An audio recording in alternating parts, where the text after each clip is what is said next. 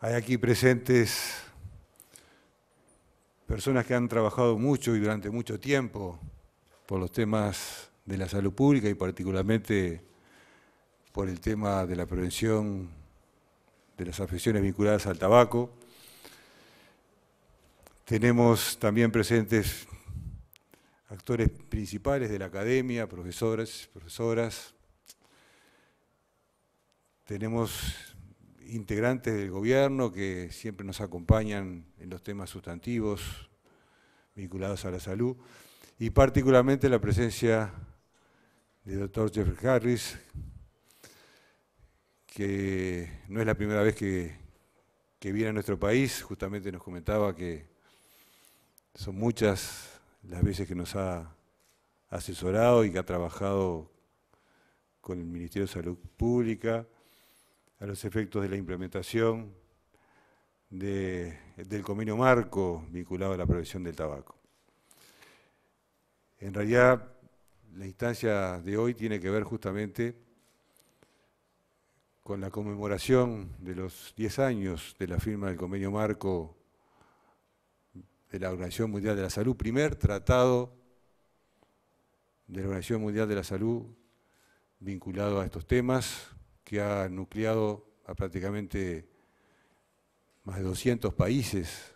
en la firma del mismo. Nuestro país fue el primero que lo firmó en el continente. Y a partir del cual se han desarrollado una serie de acciones a lo largo y de lo ancho del territorio nacional con fuerte vinculación con la sociedad toda, logrando resultados espectaculares.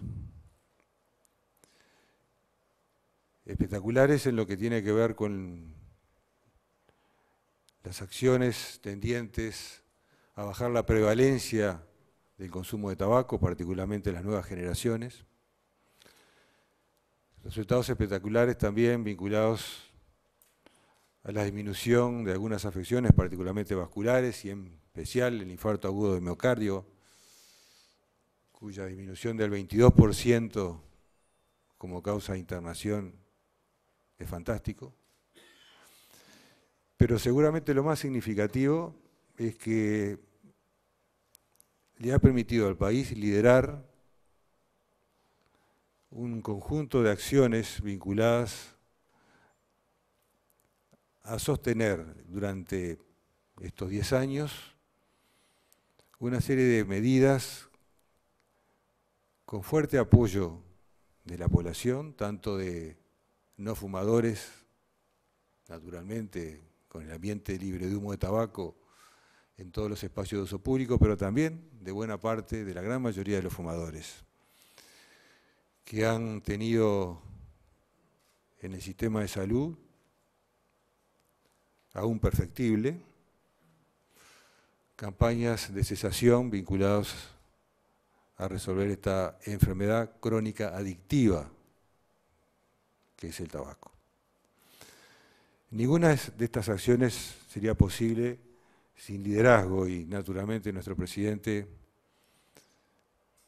lo ha logrado, tanto en nuestro país como en el mundo, y somos de esas particularidades que nuestro paísito tiene a nivel mundial, que es un referente en las campañas vinculadas a la prevención del tabaco. En estos 10 años, comenzando con el millón de gracias, que estuvo vinculado justamente a lograr que la población viera esto no como una medida restrictiva, como una medida positiva, y después sí una serie de medidas que de alguna forma fueron limitando el uso del tabaco, que fueron impactando en las empresas tabacaleras, que fueron generando medidas adecuadas, progresivas, vinculantes, que le han dado sostenibilidad en el tiempo y que nos permiten hoy explicitarlas en cualquier tribunal. Estoy hablando justamente del juicio que la empresa Philip Morris le ha hecho al país, que nos ha permitido explicitarla en cualquier tribunal, y miro al doctor Toma,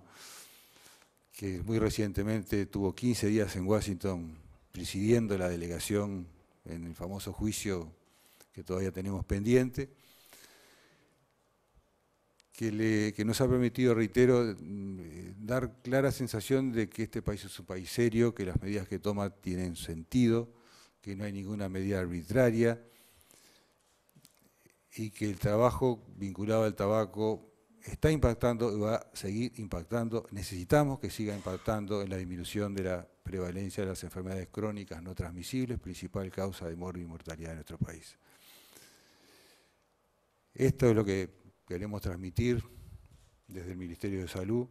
en la fuerte convicción de seguir trabajando en este tema, que se ha hecho mucho y queda mucho para seguir haciendo, con la participación y colaboración de todos ustedes, es clave eso,